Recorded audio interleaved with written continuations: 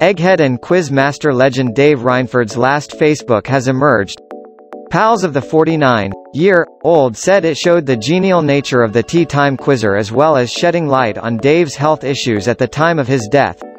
It isn't clear when Dave died but his last post on the social networking site was March 2. Jeremy Vine and chaser Anne Hegerty led the tributes to the quizzer.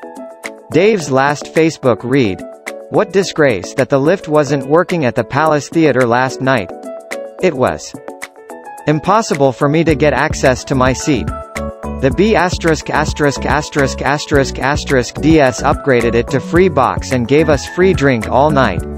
Pal Tim Shires said the post was typical of Dave's sense of optimism. Dave Rainford was one of life's genuine nice guys.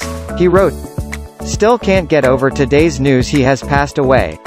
Just few days ago he posted this on Facebook. He never let any obstacles get in his way and kept sense of humor throughout.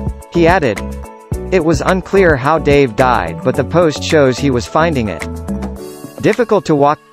Dave was regular on the BBC Tea Time quiz show but was forced to leave last year following an unconfirmed illness.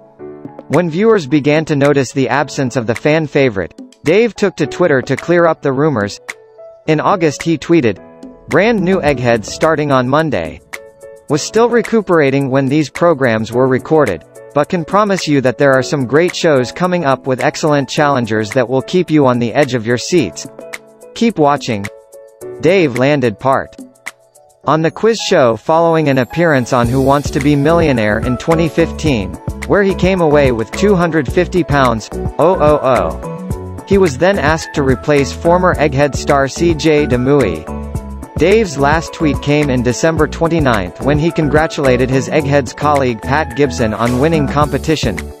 Congratulations to my Eggheads colleague Pat Gibson, who fought off the stiffest opposition to become television's quizmaster. You need stupendous knowledge to be quiz champion like him. Well done Pat, wrote Dave.